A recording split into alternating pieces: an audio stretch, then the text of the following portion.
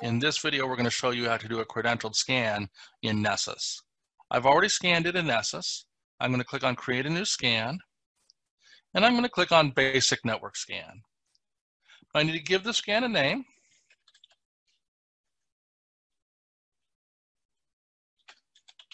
And I want to give it a description as well.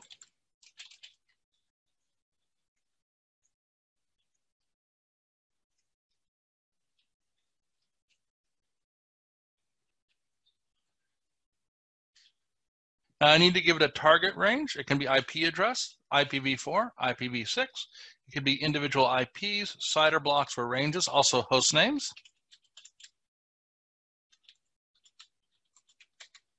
I'm going to go ahead and put in an IP range here. I can also upload a file. There are a variety of different options that are available here. I'll leave them to you to explore them.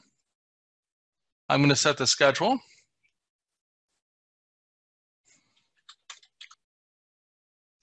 And here under credentials, I'm going to add my credentials. I'm going to start with a set of Windows credentials.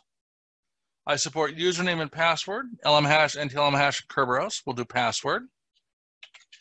I need to make sure these credentials, they're a member of the local admin group in the host that I'm scanning. I can turn on remote registry service if I need to turn that on, and I can also turn on administrative shares if necessary. I'm going to click on SSH. I can do key pair, username or password, certificate or Kerberos. We're going to do password. These again need to be administrative credentials. Um, root or someone in the wheel group will work. We do there. We can also do privilege elevation using a variety of different options. I've now put everything in. I'm going to click on save and you'll see my scan is here. Now I'm going to click on launch here on the right hand side.